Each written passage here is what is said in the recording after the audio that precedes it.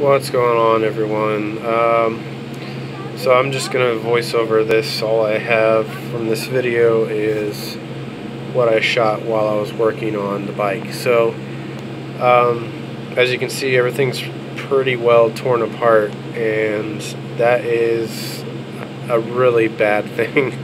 um, so, what happened was, uh, I had the bike complete. I had the bike legal. Uh, it was street worthy. It was ready to go. I really took it on its first maiden voyage as uh, the first commute to work. Um, and I decided to ride it home uh, during lunch because I really didn't have a lot of um, mileage road testing it yet since getting it legal and um, you know, basically deciding to start writing it as soon as I could. So I had kind of a bad feeling, and I didn't want to wait until the end of the day uh, to, you know, to write it home and then break down then, or have something terribly go wrong. So I decided to ride it home. It's about a 25 minute, half hour ride, or you know, drive from one way from my house to work or vice versa. So I decided to take it home at lunch, and my worst fear came true.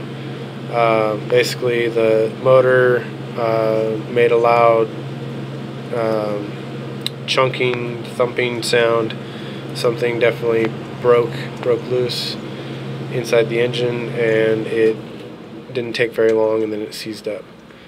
Uh, I was able to get it over to the side of the road safely, push it into a parking lot, and uh, call up one of my coworkers to come grab me and take me home in the back of his truck. So we got it home, and it sat in the garage for a few weeks before I decided to tear into it, and that's what this video is here. Uh, really realizing the extent of uh, what happened, and that's what you're about to see. Holy crap. Oh no.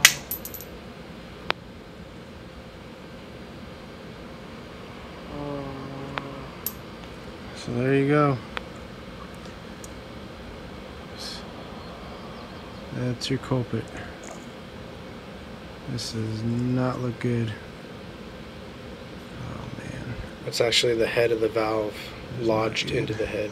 It broke off and bounced around in there. and the head of the valve. Oh, it's in there good.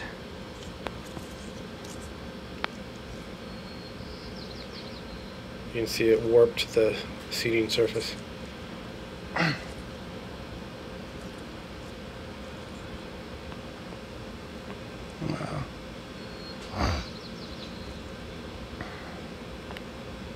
Yep, it's screwed.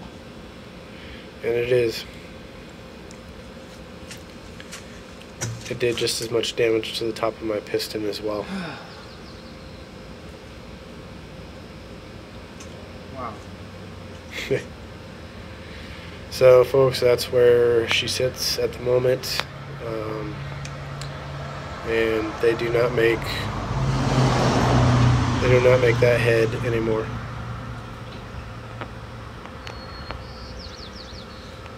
So now begins the hunt for used parts.